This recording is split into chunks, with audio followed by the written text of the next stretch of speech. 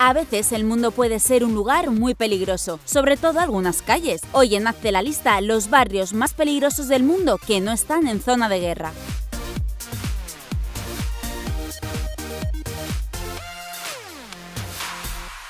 West Point, Monrovia. West Point es un conjunto de barrios de chabolas ubicados en Monrovia, la capital de Liberia. Sus más de 75.000 habitantes viven en condiciones infrahumanas, sin electricidad, agua o alcantarillado. Con este panorama ya imaginarás que pasear por sus calles no es muy seguro.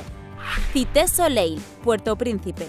Cité Soleil es el barrio más pobre de Haití, el país más pobre de América. La pobreza y la inestabilidad política han hecho que Cité Soleil esté gobernada por bandas violentas que incluso se enfrentan a los cascos azules de la ONU. Secondigliano, Nápoles. Secondigliano es un barrio extremadamente pobre, famoso por ser el centro de operaciones de la Camorra, la mafia napolitana. Es sin duda el barrio más peligroso de Europa, tanto que ni siquiera la policía se atreve a entrar.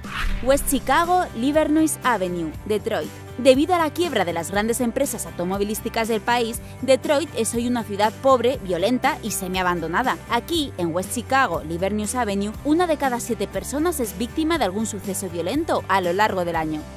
Favela de Rocinia, Río de Janeiro. La favela de Rocinia era con mucha diferencia el lugar más peligroso del mundo hasta que el gobierno destinó más de 700 policías para vigilarla.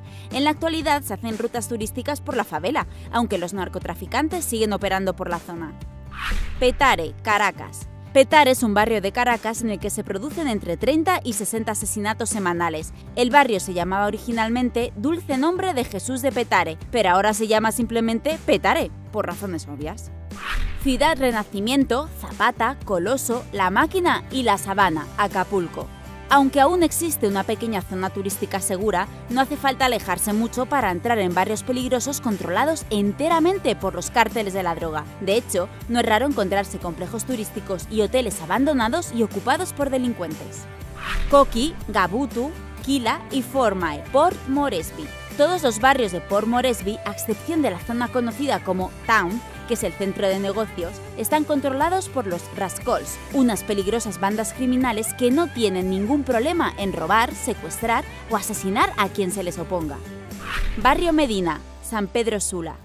San Pedro Sula es la ciudad con más homicidios de Honduras. Con una media de tres homicidios al día, es la ciudad más peligrosa del mundo por delante de Caracas o Acapulco. El barrio más violento es el barrio Medina, donde las maras cobran un impuesto a los vecinos solo por dejarles vivir.